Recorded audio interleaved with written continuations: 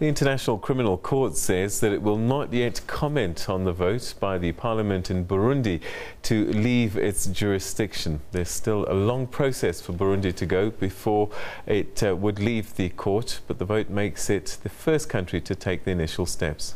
Our European correspondent Jack Parrock reports.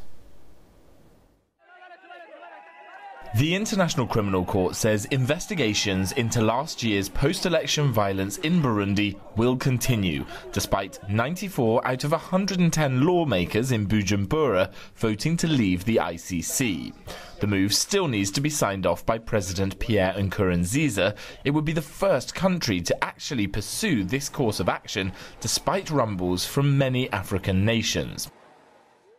As an African, it would really be uh, a regression on the continent, a regression, a very bad regression for us to decide to choose impunity over justice, because this is exactly what, what it means.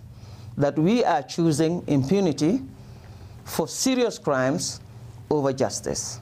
And this will be unfortunate for the continent. The ICC would still have jurisdiction over Burundi for a year after the government notifies the United Nations that it wants to leave.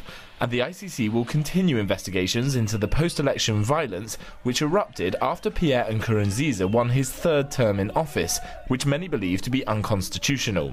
If your uh, father is tortured, if your mother, you find her on the street duly killed, do you think one second that the other members of the family will abandon to fight? Never.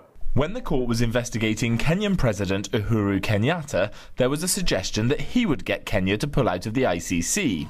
He'd have been supported by his parliament. Instead, though, he cooperated, which left him a free man and able to travel internationally.